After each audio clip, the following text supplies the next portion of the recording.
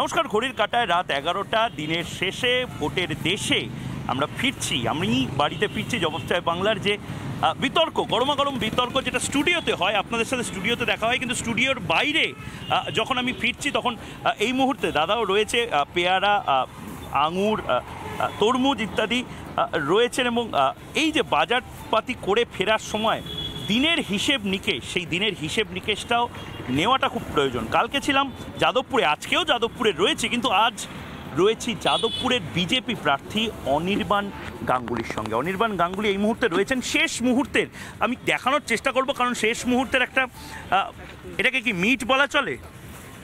এটা meet and ব্রেকও বলা চলে আর কি। একটা- ব্রেক এই ব্রেকটা প্রতি মুহূর্তে একটা ব্রেক তো দরকার। প্রতি মুহূর্তে না হলেও দিনে অন্তত দুবার একটু ব্রেক দরকার। কেননা এরা সবাই সারা দিন ধরে তারা প্রোগ্রাম করছে প্ল্যানিং করছে স্ট্র্যাটেজি করছে। প্রচুর গরম এই সময় প্রচুর গরম এই সময়। এই- প্রচুর গরম। এমনিতে পরিস্থিতি আরও আস্তে আস্তে আরও এমনিতেও গরম হয়ে উঠবে। তো সেই জন্য মাঝে মাঝে একটু ব্রেক একটু meet and break meet and break আমি আমি একদম একটা অ্যাম্বুলেন্স যাচ্ছে ওটা চলে যাক। এই মুহূর্তে খুব স্পেসিফিক্যালি যাদবপুরে আমি রয়েছি এবং যাদবপুরে কাল আমি ছিলাম। আপনি দেখছিলেন টেলিভিশনে দিনের শেষে ভোটের দেশে যে সেগমেন্টটা আমরা করছি এবং সেখানে রাত এগারোটায় কালকে সৃজনের সাথে ছিলাম এবং সৃজন সিপিআইএম ক্যান্ডিডেট খুব অদ্ভুত একটা কথা বলেছেন, আপনি দেখেছেন অলরেডি আমি যারা দেখতে পারেননি, তাদেরকে একবার দেখানোর চেষ্টা করব। সৃজন ভট্টাচার্য সব কিছুতেই একটা গান আছে না, চন্দ্রবিন্দুর, জু জু জু জু, আমাকে থাবা দিও না, সেরকম শ্যামাপ্রসাদ মুখার্জি জুজু দেখছেন সব জায়গাতে। কি বললেন? একবার শুনব। আমাকে আমাকে জিজ্ঞাসা করলে আমি আরও খারাপভাবে বলতাম হিন্দু মহাসভার নেতা শ্যামাপ্রসাদ মুখার্জি বাংলার এই গোলমালের জন্য দায়ী। বাংলার শিল্প শ্যামাপ্রসাদ মুখার্জি তুলে দিয়েছে। হ্যাঁ। তোমার কি জুজু দেখতে পাচ্ছ? ওরে বাবা শোনো না। তুমি একটু এত অসহিষ্ণু হয়ে গেছো কেন? না আমার টাইমে বাংলার মানুষ দেখছে। ভালো করে শোনো। আনডিভাইডেড বেঙ্গল ব্রিটিশ ভারতে তার জিডিপি সর্বোচ্চ ছিল। শ্যামাপ্রসাদ মুখার্জির চিঠি লেখা আছে ব্রিটিশের কাছে ভারত ভাগ না হলেও হবে কিন্তু বাংলা ভাগটা ব্যর্থ হতে দেবেন না। এই যে বাংলা ভাগ হয়ে গেল তাতে করে বাংলার ইকোনমি যে ধাক্কা খেলো পরের পঞ্চাশ ষাট সত্তর বছরেও আজ অবধি আমরা সেই গোলমাল সেইটা একটা খুব বড় বিতর্কের জন্ম দিল সৃজন এই রাত্রির বেলা কিন্তু ওই প্রশ্নটা থেকেই গেল বাংলার মানুষও প্রশ্ন করছে জবাব চাইছে। দুই তিন দুই তিন এক এক দুই তিন। বামফ্রন্ট এক, দুই না তিন? বামফ্রন্ট ট্যাগ আপনি অলরেডি শুনেছেন এবং তার পাশাপাশি আপনি বুঝতে পারছেন। মানে এটা কি জুজু বলব না সত্যি এটা বাস্তব? আমি আবার বলছি শ্যামাপ্রসাদ মুখার্জির জন্য আজকে বাংলাটা ভাগ হয়েছে। শ্যামাপ্রসাদ মুখার্জির জন্য এক নম্বরে জিডিপিতে ছিল। সৃজন বলল আনডিভাইডেড বেঙ্গলে এক নম্বরে জিডিপিতে ছিল গ্রোথে ছিল প্রসপারিটিতে ছিল। প্রথম যে ধাক্কাটা বাঙালিকে দিয়েছিল সেটা আসলে শ্যামাপ্রসাদ মুখার্জি এবং আপনি যে ফাউন্ডেশনের না আমি সেটা দেখলাম। মানে আপনি এটা চ্যালেঞ্জ নিচ্ছেন টক্কর একদম টক্কর নিচ্ছি এবং তুমি খুব ভালো শব্দ ব্যবহার করেছ জুজু। এরা বামপন্থীরা সারা জীবন শ্যামাপ্রসাদের জুজু দেখিয়েছে। মনে আছে ওই স্লোগানটা? পাকিস্তান মানতে হবে, তবেই ভারত স্বাধীন হবে। এরা বামপন্থীরা দিয়েছিল। এবং এই উদ্বাস্তু কলোনিতে ওরা ঢুকতে পেত না এই স্লোগানের জন্যে। ইতিহাস ভুলিয়ে দেওয়া হয়েছে। উনিশশো ছেচল্লিশে যখন শ্রদ্ধেয় কমরেড জ্যোতি বসু প্রথমবার বেঙ্গল লেজিসলেটিভ অ্যাসেম্বলিতে গেলেন, এটা অনেকের জানা নেই। ওনাকে সমর্থন করেছিল সুরাওয়ার্ডের মুসলিম লীগ। এবং জ্যোতি বসুর এটা আপনি একদম মানে হিস্টোরিক্যাল ডকুমেন্ট বলছেন। হিস্টোরিক্যাল আমি একবার এই দিকটা এই দিকটাও হাতটা হাতটা আসব। আপনাদের কাছেও আসব। একদম। হ্যাঁ। এবং এটা হিস্টোরিক্যাল ডকুমেন্ট হিস্টোরিক্যাল ডকুমেন্টেড এবং একাধিক এই লেখাও রয়েছে এই সম্বন্ধে। নাইনটিন ফর্টি সিক্সে রেলওয়ে মেন্স কলোনি থেকে জ্যোতিবাবু যখন রেল রেল রেল আন্দোলনের বড় নেতা হ্যাঁ এবং সেই কলোনি থেকে উনি দাঁড়ালেন রেলওয়ে মেন্স কনস্টিটুয়েন্সি যেটা। মানে ধরো যেমন Shyamaprasad would stand from the university constituency উনি নাইনটিন ফর্টি সিক্সে দাঁড়ালেন, ওনার বিরুদ্ধে দাঁড়াল হুমায়ুন কবির। হুমায়ুন কবিরকে মুসলিম লীগের লুম্পেনরা কিডন্যাপ করল। পনেরো দিন তাকে কিডন্যাপ করে রাখল যাতে জ্যোতিবাবু জিততে পারেন নাইনটিন ফর্টি সিক্সে। এক। দুই হলো, কিরম দ্বিচারিতা দেখো, এরা আইন মানে বিধানসভার ভেতরে, তখন তো legislative assembly Bengal legislative assembly সেখানে তারা ভোট দিল পক্ষে, কার পক্ষে? বাংলা ভাগের পক্ষে এবং বাই কমিউনিস্টরাও দিল। সবাই দিল কংগ্রেস দিল ফরওয়ার্ড ব্লক দিল কমিউনিস্টরাও দিল জ্যোতিবাবু দিলেন। কিন্তু বিধানসভার বাইরে তারা স্লোগান দিল বাংলা ভাগ করল কে শ্যামাপ্রসাদ আবারকে মানে এটা কি ভুল? এটা তারা স্লোগানটা দিল। ভেতরে তারা ভোট করল for Bengal division creation of West Bengal বাইরে তারা স্লোগান দিল আমি আমি বুঝতে পারছি না। মানে ভেতরে বামপন্থীরা বাংলা ভাগের জন্য ভোটটা দিয়েছিল। দিয়েছে। এটা এটা ডকুমেন্ট আছে। একদম। বাংলার মানুষ আমি গুগল আপনারাও নিজেরাও দেখতে পারেন। একদম। কমেন্ট করতে মানে সত্যি বলছেন এটা। একেবারে সত্যি যারা ইতিহাসের ছাত্র তারা জানে।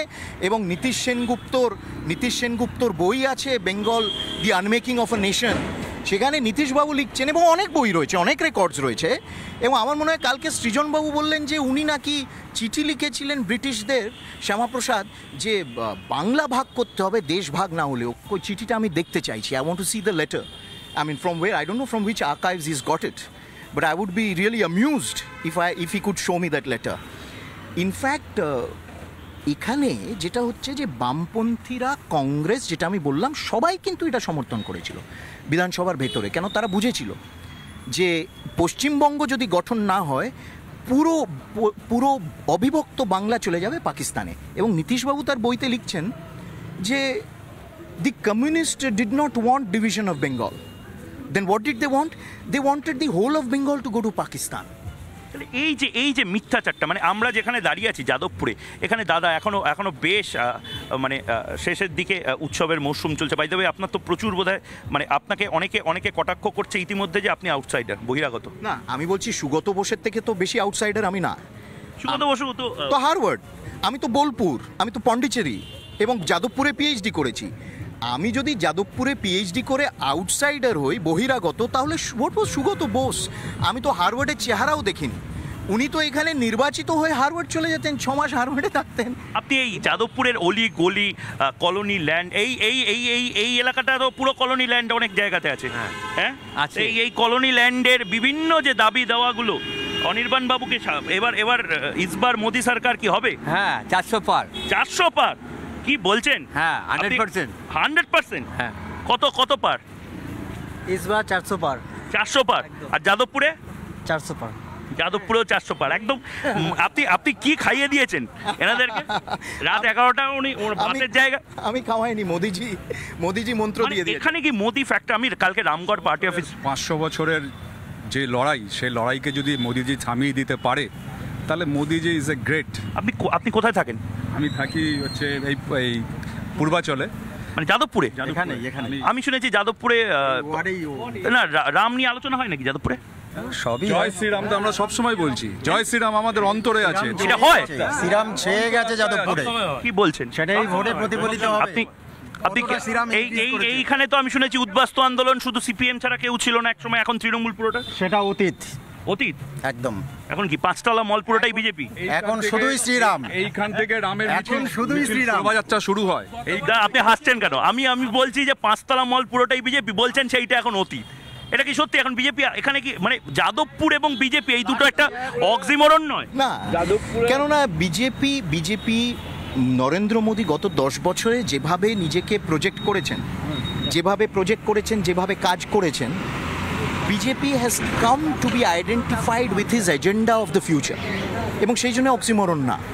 আমি যদি একদম স্পেসিফিক্যালি আপনি আপনি মানে ওয়ান টু থ্রি ফোর করে পয়েন্ট ধরে যদি বলেন যাদবপুরের মানুষের কি লাভ হবে যদি আপনাকে ভোটে নি মানে আপনার এজেন্ডা থাকবে তো নিশ্চয়ই। না আমার এজেন্ডা আছে কিন্তু কথাটা হলো পনেরো বছর পনেরো বছর তারা যাদের যাদের নির্বাচিত করেছে তারা কি লাভ করে কি লাভ পেয়েছে? মিমি চক্রবর্তী তো দাঁড়াননি ভোটে। মমতা বন্দ্যোপাধ্যায় বলেছিলেন সব আসনে আমি দাঁড়িয়ে হ্যাঁ কিন্তু তিনি দাঁড়াননি তিনি সেই জন্য মানুষের কাছে তার থাকার দায়বদ্ধতাও ছিল না। পাশে থাকেননি কোভিডের সময় টিকটক করছিলেন। সুগতবাবু ছ মাস হারওয়ার্ডে কাটাতেন এখানে নির্বাচিত হয়ে পুরো কনস্টিটুয়েন্সিটা আরাবুলের হাতে ছেড়ে দিয়েছিলেন। এবং কবিরবাবু তিনি গায়ক না তিনি নির্বাচিত প্রতিনিধি এই দ্বন্দ্বে তার কেটে গেল। এবং দল দল দ্বারা তিনি একেবারে সন্ত্রস্ত। সেই জন্য তিনি রাজনীতি থেকে অবসর নিলেন। এইটাই হচ্ছে paradox of this constituency for the last fifteen কিন্তু যাদবপুরের একটা আবেগ আছে যে আবেগটা উদ্বাস্তুর যে আবেগটা অনেক কিছু ছিল আমাদের। আমাগো আমাগো একখান দেশ ছিল আমাদের আমাগো আমাগো ফ্যাক্টরিও ছিল। কি আমাগো ছিল তো ফ্যাক্টরি ছিল আমাদের আমাগো দেশও ছিল। দেশও ছিল পুকুর ছিল গোয়াল ছিল সবই ছিল।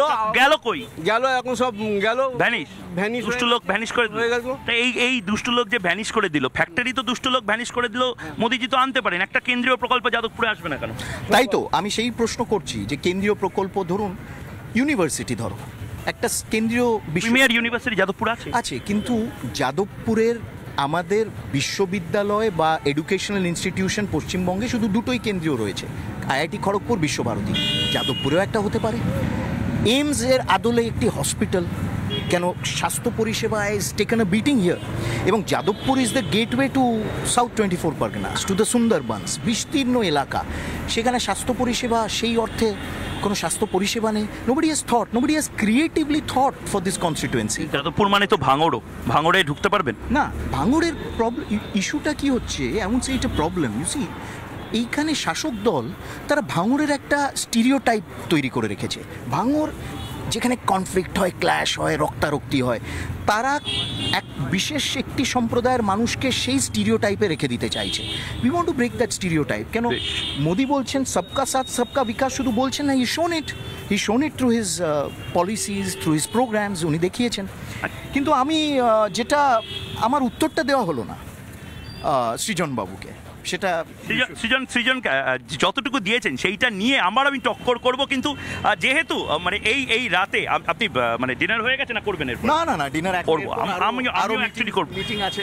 আমি অ্যাকচুয়ালি একটা জিনিস আমি যা- যাদবপুরে কি জয় শ্রীরাম বলা যায়? জয় শ্রীরাম না জয় শ্রীরাম যাদবপুরে এটা বলতে যাদবপুরে আমাদের এইখান থেকে এই অভিষিক্তা মোড় থেকে যাদবপুরের রামনবমীর সবচেয়ে বড় জলুস সবচেয়ে বড় যে মিছিলটা তৈরি হয়েছে রামনবমীতে এখান থেকেই হয়েছে। বাবা এখন এখন যাদবপুরকে দেখিয়ে? যাদবকুল কোন দিক থেকে আইলো আমি জানি না কিন্তু এই মুহূর্তে হয়েছিল লাস্ট ইয়ার যাদবপুরে? ইয়েস বিপ্লবপুরে? একদম। বলছেন? এ তো নতুন বিপ্লব। হ্যাঁ নিশ্চয়ই অবশ্যই। বেশ বেশ আমার আরও আচ্ছা আগে আগে দেখ বাম আর বাম নেই সবটাই রাম সবটাই রাম হয়ে গেছে। উল্টে দেখুন পাল্টে গেছে। বেশ দেখা যাক দেখা যাক কি হয় যাদবপুরে কারণ যাদবপুরে এই মুহূর্তে রাতে রাতে দিনের শেষে ভোটের দেশে অনির্বাণ গাঙ্গুলির সাথে অনির্বাণ গাঙ্গুলির সাথে একদিন সকালবেলা ব্রেকফাস্ট থেকে শুরু করে ডিনার অবধি থাকার পরিকল্পনা আছে। শুভ্রাংশু এই মুহূর্তে রয়েছে শুভ্রাংশ এই মুহূর্তে আমি দক্ষিণে রয়েছি শুভ্রাংশু উত্তরে রয়েছে। শুভ্রাংশু এই মুহূর্তে তোমার সঙ্গে কে রয়েছে সেইটা একবার বলো এবং তার পাশাপাশি এই যে গোটাটা যেটা আপনারা দেখছেন আরও বেশি করে আপনারা লাইভ স্ট্রিমিং এর মেসেজ করুন কমেন্ট। শুভ্রাংশু। আমি এখন যেখানে দাঁড়িয়ে আছি দেখে কি মনে হচ্ছে রাত হয়েছে? চারিদিকে আওয়াজ। বিজেপি প্রচার করছে। এখানকার যিনি নেতা ক্যান্ডিডেট শিলভদ্র দত্ত তার প্রচার। এখনও প্রচার চলছে গভীর রাত হয়ে গেছে। কিন্তু মানুষজনের কম নেই। এবং সকলেই তার সঙ্গে দাঁড়িয়ে আছেন। তিনিও আমাদেরকে সময় দিতে পেরেছেন খুব কম সময়ের জন্য। সারাদিন তো প্রচার করছেন। ক্লান্তি নেই? না না। আমাদের তো একটাই গান ক্লান্তি আমার ক্ষমা করো প্রভু। আর যে দলের বিজেপির যিনি নেতা সেই মানুষটা এই বয়সে ভারতবর্ষের জন্য প্রায় চব্বিশ ঘণ্টা খেটে মরছে হাঁটছেন। তা সেই দলের মানুষ হয়ে ক্লান্তির কথা বলব কি করে? মানুষের কাজ করতে কোনো ক্লান্তি লাগে না ক্লান্তি আসে না। আপনার তো ঘাম দিয়েছে। তো রোদে গরমে তো বেরোবেই। হাঁটলে পরে এতটা পথ হেঁটে আসা। আমার তো শুধু নয় আমার সহকর্মীরা প্রত্যেকেই আমার সঙ্গে হেঁটে এসছেন। প্রত্যেকেরই গাম হয়েছে। কি করা যাবে গরমে তো কেউ কেউ সাঁতার কাটছে। আপনি কি সাঁতার কাটলেন নাকি? না না। আমার নাটক করার কোনো ইচ্ছে নেই। কারণ যে দলের নেতা সাঁতার সাঁতার কাটছেন সে দলের নেত্রীও নাচেন নেতাও নাচেন। কখনো রবীনা ট্যান্ডনের সঙ্গে কখনো কীর্তনে। আমাদের দলে নাটক হয় না। আমাদের দলে মানুষের কাজ করার জন্য সারাক্ষণই আমরা মানুষের সেবার জন্য ব্যস্ত থাকি মানুষের কাজের জন্য ব্যস্ত থাকি। আমাদের নাচ গান করতে হয় না মানুষ নরেন্দ্র মোদীকে এমনিই ভোট দেবেন। জনসংযোগ করছেন ছোট ছোট প্রচারে ছোট ছোট জনসমাবেশ করছেন। আজকে সারা দিন কোথায় কোথায় গিয়েছিলেন? সকালবেলায় আমি পদযাত্রা করেছি খর্দায়। খর্দা মণ্ডল টুতে পদযাত্রা মানে খর্দা বিধানসভার আমাদের মণ্ডল বলে এক একটা অংশ একে। সেখানে পদযাত্রা করেছি, তারপর সারাদিনই কিছু মানুষের সঙ্গে আমাদের যে সিনিয়র মোস্ট যারা নেতা ছিলেন, আছেন, তাদের সঙ্গে দেখা করেছি। তারপরে আবার দমদম বিধানসভা কেন্দ্রে একটা অনুষ্ঠান কর্মীদের সঙ্গে মিলিত হয়েছি। সেখান থেকে এখানে এসেছি। এখানে প্রায় সাত কিলোমিটার রাস্তা আমরা সবাই মিলে হেঁটে এসেছি, পদযাত্রা করেছি, মানুষের সঙ্গে মিলিত হয়েছি এবং অভূতপূর্ব সাড়া দেখেছি মানুষ আর কতক্ষণ করবেন? এখন তো গভীর রাত। করব বলতে এখনও আছে যতক্ষণ এত ছেলে পিলে আছে যাব কোথায়? এদের সঙ্গে কথা বলতে বলতে যখন সবাই যাবে তখন বাড়ি যাব কোনো অসুবিধা নেই। কি মনে হচ্ছে? কি মনে হচ্ছে? বিজেপি জিতবে। জিতবে?